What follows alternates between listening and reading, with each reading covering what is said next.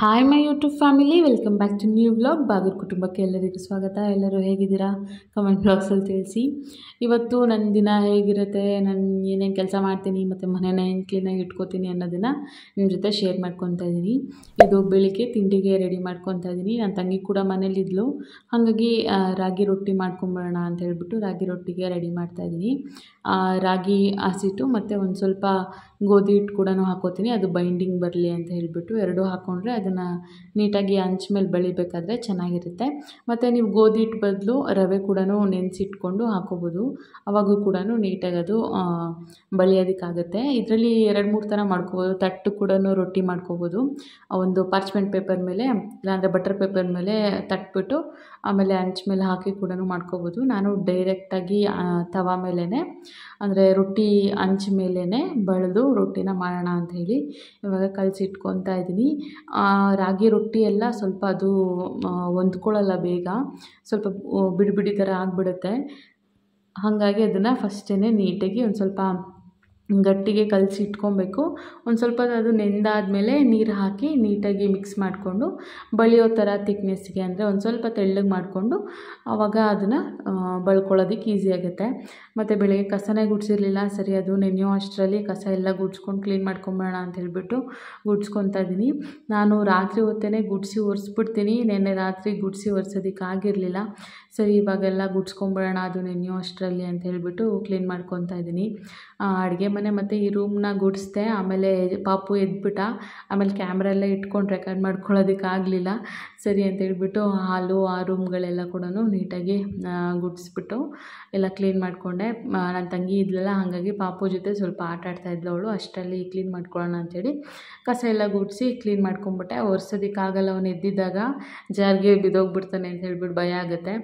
ಇವಾಗ ಅವನು ಆಟ ಆಡ್ತಿದ್ನಲ್ಲ, ಸರಿ, ರೊಟ್ಟಿ ರೆಡಿ ಮಾಡ್ಕೊಂಬೋಣ ಅಂತ ಹೇಳ್ಬಿಟ್ಟು ರೊಟ್ಟಿ ಹಾಕ್ತಾಯಿದ್ದೀನಿ ನನ್ನ ತಂಗಿ ಕಾಲೇಜ್ಗೆ ಹೋಗಬೇಕಿತ್ತು, ಸರಿ ಆಯಿತು ಅವಳು ಹೊರಡೋ ಅಷ್ಟರಲ್ಲಿ ಬೇಗ ರೊಟ್ಟಿ ಮಾಡಿಕೊಟ್ಬಿಡೋಣ ಅಂತ ಹೇಳ್ಬಿಟ್ಟು ರೊಟ್ಟಿ ಮಾಡಿದ್ದೀನಿ. ಊಟ ಏನು ಬೇಡ ಪಾಸ್ ಅಂತ ಹೇಳಿದ್ಲು. ಹಂಗೆ ಚನ್ನಪಟ್ಟ ಹೋಗ್ತೀನಿ ಅಂತ ಹೇಳಿದ್ಲು. ಸರಿ ಅಂದ್ಬಿಟ್ಟು ರೊಟ್ಟಿನ ಇವಾಗ ಒಂದೇ ಒಂದು ಬೆಳೀತಾ ಇದ್ದೀನಿ ಅವಳಿಗೆ ಅಂತ ಬೇಗ ಇವಾಗ ರೊಟ್ಟಿ ಮಾಡಿಕೊಟ್ಬಿಟ್ಟು ಆಮೇಲೆ ಬೇರೆ ಕೆಲಸಗಳನ್ನ ಶುರು ಮಾಡ್ಕೋಬೇಕು. ಬೇರೆ ಕೆಲಸಗಳಂತ ಅಂದರೆ ಸ್ವಲ್ಪ ಸ್ಟಿಚಿಂಗ್ ಎಲ್ಲ ಕೂಡ ಕೆಲಸಗಳು ಶುರು ಮಾಡಿದ್ದೀನಿ. ಅದನ್ನೆಲ್ಲ ಕೂಡ ಮಾಡ್ಕೋಬೇಕು. ಅವ್ನು ಮಲಗಿರೋ ಟೈಮಲ್ಲಿ ಇಲ್ಲಾಂದರೆ ಒಂದು ಸ್ವಲ್ಪ ಅವನು ಆಟ ಆಡ್ತಾ ಇರೋ ಟೈಮಲ್ಲಿ ಸ್ಟಿಚ್ ಮಾಡ್ಕೋಬೋದು. ಇವಾಗೇನು ಅಷ್ಟು ಹಠ ಮಾಡಲ್ಲ. ಮತ್ತು ಟೊಮೆಟೊ ಚಟ್ನಿ ಮಾಡಿ ಇಟ್ಟಿದ್ದೆ ನೆನ್ನೆನೇ. ಅದನ್ನೇ ಹಾಕಿ ಕೊಡ್ತಾಯಿದ್ದೀನಿ ಸ್ವಲ್ಪ ಖಾರ ಇತ್ತು, ಹಾಗಾಗಿ ಒಂದೇ ಒಂದು ಚೂರು ಬಡಿಸಿದ್ದೀನಿ ಒಂದು ಸ್ವಲ್ಪ ತುಪ್ಪ ಕೂಡ ಹಾಕ್ತಾಯಿದ್ದೀನಿ ಆಮೇಲೆ ಬೈತಾ ಇದ್ಲು, ತುಪ್ಪ ಯಾಕೆ ಹಾಕ್ದೆ? ಅಂತ ಹೇಳಿಬಿಟ್ಟು. ತುಪ್ಪ ಒಂಚೂರು ಹಚ್ಬಿಟ್ಟು ಅವಳಿಗೆ ಕೊಟ್ಟೆ. ಆಮೇಲೆ ನಮಗೂ ತಿನ್ನೋದಕ್ಕಾಗತ್ತೆ ಅಂತ ಹೇಳ್ಬಿಟ್ಟು ಎತ್ತಿಡ್ತಾ ಇಲ್ಲ. ಹಂಗೆ ಇಟ್, ಇಟ್ಕೊತಾ ಇದ್ದೀನಿ. ಆಮೇಲೆ ಯಜಮಾನ್ರಿಗೆ, ನನಗೆ ಎಲ್ಲರಿಗೂ ಕೂಡ ರೊಟ್ಟಿ ಹಾಕೋಬೇಕಲ್ಲ ಅಂತ ಹೇಳ್ಬಿಟ್ಟು. ಇವತ್ತು ಅಡುಗೆ ಎಲ್ಲ ಮಾಡೋದೇನಿರಲಿಲ್ಲ ನೆನ್ನೆದೇ ಸ್ವಲ್ಪ ಸಾಂಬಾರು ಮಿಕ್ಕಿತ್ತು. ಹಾಗಾಗಿ ಅಡುಗೆ ಕೆಲಸ ಏನೂ ಇಲ್ಲ. ಸ್ವಲ್ಪ ಅಡುಗೆ ಮನೇಲಿ ನೀಟಾಗಿ ಆರ್ಗನೈಸ್ ಮಾಡ್ಕೊಳ್ಳೋಣ ಅಂತ ಹೇಳಿಬಿಟ್ಟು ಇದನ್ನೆಲ್ಲ ಕೂಡ ಡಬ್ಬಗಳನ್ನ ತೆಗೆದು ನೀಟಾಗಿ ಅದನ್ನು ಒರೆಸ್ಬಿಟ್ಟು ತಿರ್ಗಿ ಆರ್ಗನೈಸ್ ಮಾಡಿ ಇಟ್ಟಿದ್ದೀನಿ. ಡಬ್ಬಿ ಎಲ್ಲ ತೊಳೆಯೋದಕ್ಕೇನು ಹೋಗಲಿಲ್ಲ. ಅದು ಎಲ್ಲ ನೀಟಾಗಿ ಕ್ಲೀನಾಗೇ ಇತ್ತು. ಹಾಗಾಗಿ ಬರೀ ಇದನ್ನು ಕಬೋರ್ಡ್ನ ಒರೆಸ್ಬಿಟ್ಟು ಜೋಡಿಸಿಟ್ಟೆ. ಇವಾಗ ರಾತ್ರಿ ಮಧ್ಯಾಹ್ನನೂ ಅಡುಗೆ ಏನೂ ಮಾಡೋಂಗಿರಲಿಲ್ಲ. ರಾತ್ರಿ ಎಲ್ಲರೂ ಸರಿ ತಿಂತಾರೆ. ಪಾಪಕ್ಕೆ ಸರಿ ತಿಂತಾನೆ. ಯಜಮಾನರು ಗಂಜಿ ಕುಡಿತಾರೆ. ನಾನು ರಾತ್ರಿ ಹೊತ್ತು ಊಟನ ಸ್ಕಿಪ್ ಮಾಡೋಣ ಅಂತ ಹೇಳಿಬಿಟ್ಟು ಇವಾಗ ರಾತ್ರಿ ಹೊತ್ತು ಊಟ ಮಾಡ್ತಾಯಿಲ್ಲ ಸ್ವಲ್ಪ ಸಣ್ಣ ಆಗೋಣ ಅಂತ ಹೇಳಿ. ಇವಾಗ ರಾತ್ರಿ ಅವ್ನು ಮಲ್ಕೊಂಡ್ಮೇಲೆ ಒಂದು ಹತ್ತುವರೆ ಇರ್ಬೋದು. ಅವ್ನು ಮಲ್ಕೊಂಡ್ಮೇಲೆ ಮನೆ ಎಲ್ಲ ಗುಡಿಸಿ, ಒರೆಸಿ ಎಲ್ಲ ಕ್ಲೀನ್ ಮಾಡ್ಕೊಳ್ಳೋಣ ಅಂತ ಹೇಳಿ ಕ್ಲೀನ್ ಮಾಡ್ಕೊತಾ ಇದ್ದೀನಿ. ನನಗೆ ಆರಾಮಾಗಿ ಮನೆ ಕ್ಲೀನ್ ಮಾಡೋದಕ್ಕೆ ಟೈಮ್ ಸಿಗೋದೇ ರಾತ್ರಿ ಹೊತ್ತು. ಪಾಪು ಯಾವಾಗ ಮಲಗಿರ್ತಾನೆ ಅವಾಗೇ ಕೆಲಸ ಮಾಡ್ಕೋಬೇಕು.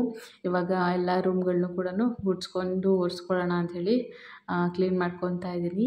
ಈ ರೂಮಲ್ಲಿ ಲೈಟ್ ಹಾಕೋಂಗಿಲ್ಲ, ಯಾಕೆಂದರೆ ಪಾಪು ಮತ್ತು ಯಜಮಾನ್ರು ಇಬ್ಬರು ಕೂಡ ಮಲಗಿದ್ರು, ಸರಿ ಅಂತ ಹೇಳಿಬಿಟ್ಟು ಹಾಗೆ ಅಂದಾಜು ಮೇಲೆ ಕಸ ಗುಡಿಸ್ಕೊತಾ ಇದ್ದೀನಿ. ಅಂದರೆ ಕಾಣಿಸುತ್ತೆ ಸ್ವಲ್ಪ ಹಾಲಲ್ಲಿ ಲೈಟ್ ಹಾಕಿರೋದು ಬೆಳಕು, ಆದರೆ ರೂಮಲ್ಲಿ ಹಾಕ್ಬಿಟ್ರೆ ಅವರಿಬ್ರಿಗೂ ಡಿಸ್ಟರ್ಬ್ ಆಗುತ್ತೆ ಅಂತ ಹೇಳಿಬಿಟ್ಟು ಹಾಗೇ ನಿಧಾನಕ್ಕೆ ಕೂಡ್ಸ್ಕೊಂಡು ಬಂದೆ. ಎಲ್ಲ ಕೂಡ ಇವಾಗ ಬಾಗಿಲುಗಳ ಹತ್ರ ಎಲ್ಲ ಕೂಡ ಸ್ವಲ್ಪ ಸ್ವಲ್ಪ ಧೂಳಾಗ್ಬಿಟ್ಟಿರುತ್ತೆ. ಈ ರೋ, ಈ ಮನೆ ಇರೋದು ಸ್ವಲ್ಪ ರೋಡು ಚೆನ್ನಾಗೇ ಅದು ಧೂಳೆಲ್ಲ ಬರುತ್ತೆ ಮನೆ ಒಳಗಡೆ.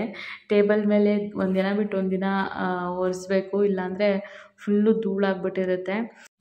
ಮತ್ತು ಎಷ್ಟೊಂದು ಜನ ನಮ್ಮೂರು ಯಾವುದು ಅಂತ ಕೇಳ್ತಾ ಇರ್ತೀರ? ನಾವು ಇರೋದು ಬೆಂಗಳೂರಲ್ಲಿ. ಅತ್ತೆ ಮನೆ, ಅಂದರೆ ಯಜಮಾನ್ರ ಮನೆ ನಾಗಮಂಗ್ಲ, ಅಪ್ಪನ ಮನೆ ಚನ್ನಪಟ್ಟಣ ಅಪ್ಪ ಮನೆಗೆ ಅವಾಗವಾಗ ಹೋಗ್ತಾ ಇರ್ತೀನಿ ಹತ್ತಿರ ಇದೆಯಲ್ಲ ನಾಗಮಂಗ್ಲಕ್ಕಾದರೆ. ಯಜಮಾನ್ರು ಬರಲೇಬೇಕು ಜೊತೆಯಲ್ಲಿ ಅವಾಗಲೇ ಹೋಗೋಕ್ಕಾಗೋದು ಒಬ್ಬಳೇ ಹೋಗೋದಕ್ಕಾಗಲ್ಲ. ಮತ್ತು ನಾಗಮಂಗ್ಲಕ್ಕೆ ಹೋಗಿ ಅಲ್ಲಿಂದ ನಮ್ಮೂರಿಗೆ ಹೋಗೋದಕ್ಕೆ ಅಂದರೆ ನಮ್ಮದು ಹಳ್ಳಿ, ಅಲ್ಲಿಗೆ ಹೋಗಬೇಕು ಅಂತ ಹೇಳಿದ್ರೆ ಬಸ್ಸಲ್ಲಿ ಹೋಗಬೇಕು, ಇಲ್ಲ ಆಟೋ ಮಾಡ್ಕೊಂಡು ಹೋಗಬೇಕು, ಅಲ್ಲಿಗೆ ಅಲ್ಲಿಗೆ ಸ್ವಲ್ಪ ಓಡಾಡೋದಕ್ಕೆ ಹಿಂಸೆ ಆಗುತ್ತೆ. ಹಾಗಾಗಿ ಯಜಮಾನ್ರು ಯಾವಾಗ ಕರ್ಕೊಂಡು ಹೋಗ್ತಾರೆ ಆವಾಗಲೇ ಹೋಗಿ ಬರೋದು, ಮಾಡೋದು. ಅಪ್ಪ ಮನೆಗಾದರೆ ಇಲ್ಲಿ ಯಜಮಾನ್ರು ಬಸ್ ಹತ್ತಿಸ್ತಾರೆ ಅಲ್ಲಿ ಅಪ್ಪ ಬಂದು ಕರ್ಕೊಂಡು ಹೋಗ್ತಾರೆ. ಇಲ್ಲಾಂದರೆ ಅಲ್ಲಿಂದ ಆಟೋ ಮಾಡ್ಕೊಂಡು ಹೋಗ್ಬಿಡ್ಬೋದು. ತುಂಬ ಹತ್ರನೇ ಚನ್ನಪಟ್ಟಣದಿಂದ ನಮ್ಮೂರು. ಹಾಗಾಗಿ ಅಪ್ಪ ಮನೆಗೆ ಜಾಸ್ತಿ ಓಡಾಡೋದು.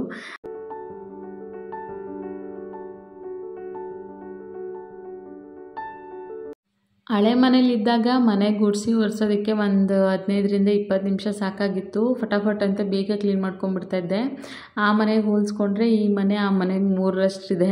ಹಾಗಾಗಿ ಒನ್ ಅವರ್ ಮೇಲೆ ಬೇಕು ನನಗೆ ನೀಟಾಗಿ ಮನೇನ ಗುಡಿಸಿ, ಸೋಫಾ ಎಲ್ಲ ಕೂಡ ಒರೆಸಿ ಮನೆ ಒರೆಸ್ತೀನಿ ಅಂತ ಹೇಳಿದ್ರೆ ತುಂಬ ಸುಸ್ತಾಗೋಗುತ್ತೆ. ಒಬ್ಳು ಕೈಲೇ ಅಂತೂ ಗುಡಿಸಿ ಒರೆಸಿ ಎಲ್ಲ ಮಾಡೋಷ್ಟರಲ್ಲಂತೂ ಸಾಕಾಗೋಗುತ್ತೆ. ಇವತ್ತಂತೂ ಹನ್ನೆರಡೂವರೆ ಮೇಲೆ ಆಗೋಯ್ತು ನನಗೆ ಮನೆಯೆಲ್ಲ ಗುಡಿಸಿ ಒರೆಸಿ ಕ್ಲೀನ್ ಮಾಡೋ ಆಮೇಲೆ ಯಜಮಾನ್ರದ್ದು ಕೂಡ ಒಂದು ಜೊತೆ ಬಟ್ಟೆ ಐರನ್ ಮಾಡಬೇಕಿತ್ತು. ಅವರು ಆರ್ಡ್ರಿಗೆ ಹೋಗ್ತೀನಿ ಬೆಳಿಗ್ಗೆ ಅಂತ ಹೇಳಿದರು. ಫುಲ್ಲು ಸುಸ್ತಾಗೋಗಿತ್ತು. ಒಂದು ಹಣ್ಣು ತಿಂದ್ಬಿಟ್ಟು ಮತ್ತು ರಾತ್ರಿ ಬೇರೆ ಊಟ ಸ್ಕಿಪ್ ಮಾಡಿಬಿಟ್ಟಿದ್ನಲ್ಲ ಫುಲ್ ಸುಸ್ತಾಗಿ ಹೋಗಿತ್ತು ಸರಿ, ಒಂದು ಹಣ್ಣು ತಿನ್ನೋಣ ಅಂತ ಹೇಳ್ಬಿಟ್ಟು ಹಣ್ಣು ತಿಂದ್ಬಿಟ್ಟು ಆಮೇಲೆ ಯಜಮಾನ್ರದ್ದು ಒಂದು ಜೊತೆ ಬಟ್ಟೆನ ಐರನ್ ಮಾಡಿ ಎತ್ತಿಟ್ಬಿಟ್ಟು ಆಮೇಲೆ ಹೋಗಿ ಮಲ್ಕೊತಾ ಇದ್ದೀನಿ. ಫುಲ್ ಸುಸ್ತಾಗೋಯ್ತು. ಹೋಯಿತು ದೊಡ್ಡ ಮನೆ ದೊಡ್ಡ ಮನೆ ಅಂತ ಆಸೆಗೆ ಮಾಡ್ಕೊಂಬಿಡ್ತೀವಿ ಕ್ಲೀನ್ ಮಾಡಿ, ನೋಡಿ ಮೇಂಟೈನ್ ಮಾಡೋ ಅಷ್ಟರಲ್ಲಂತೂ ಫುಲ್ ಸುಸ್ತಾಗಿಬಿಡುತ್ತೆ.